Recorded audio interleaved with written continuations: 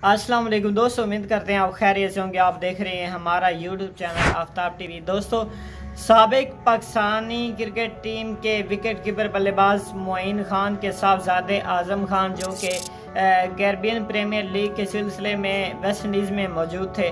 उनके साथ एक दिलचस्प वाक़ पेश आया। वो आज आप सुन के यकीनन हैरान परेशान हो जाएँगे।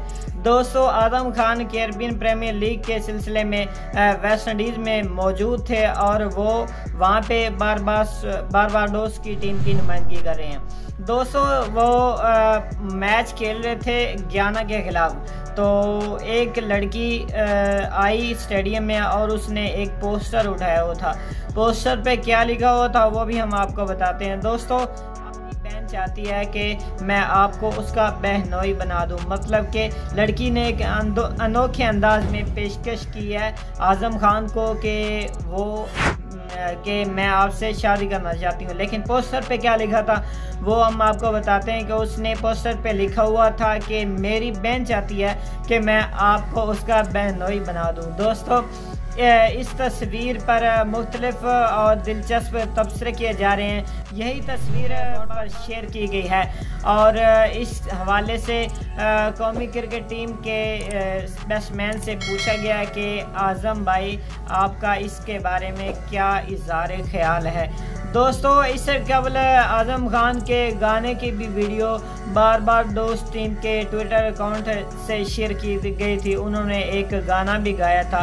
आज़म खान एक क्रिकेटर होने के साथ साथ अच्छा गा भी लेते हैं। दोस्तों ये ये आ, सोचने के लायक है क्योंकि एक वेस्ट इंडीज़ की लड़की आज़म खान को शादी की पेशकश कर रही है और वो भी अनोखे अंदाज में दोस्तों इसके अलावा दोस्तों आज़म खान ने कैरबियन प्रीमियर लीग के फाइनल में ज़बरदस्त बैटिंग परफॉर्मेंस का मुजाहरा करते हुए इक्यावन रन की इनिंग्स खेली थी। उसमें चार छक्के और दोस्तों उनकी टीम फाइनल में कामयाबी हासिल नहीं कर सकी। और यहाँ पे हम आपको एक और भी बात बताते चलें कि जिस तरह की परफॉर्मेंस का मुजाहरा किया है आज़म खान ने कैरबियन प्रीमियर लीग में, वो काबिल तहसीन है और पाकिस्तानी टीम को एक ऐसे ही खिलाड़ी की ज़रूरत है जो कि मैच फिनिशर हो। और दोस्तों वहाँ पे तो वो टीम उनका साथ नहीं दे सके।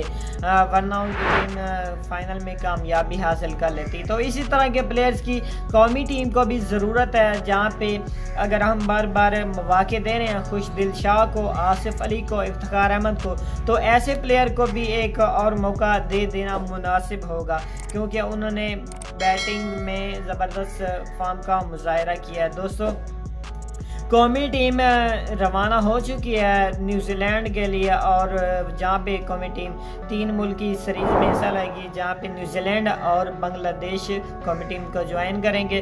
और कौमी टीम साफ़ की सीरीज़ के बाद ऑस्ट्रेलिया के लिए रवाना हो जाएगी जहाँ पे टी ट्वेंटी वर्ल्ड कप खेला जाएगा। तो आज़म खान की सलाहियतों को मानना चाहिए और उनको मौका देना चाहिए। आ, हमारा तो ये ख्याल है। आपका ज़रूर बताइए। और अगर आपको ये वीडियो अच्छी लगी है तो लाइक ज़रूर कर दीजिए, इससे हमारी हौसला अफजाई हो जाती है। मिलते हैं किसी नई वीडियो में, तब तक अपना बहुत सा ख्याल रखिएगा दो में याद रखिए, अल्लाह हाफिज़।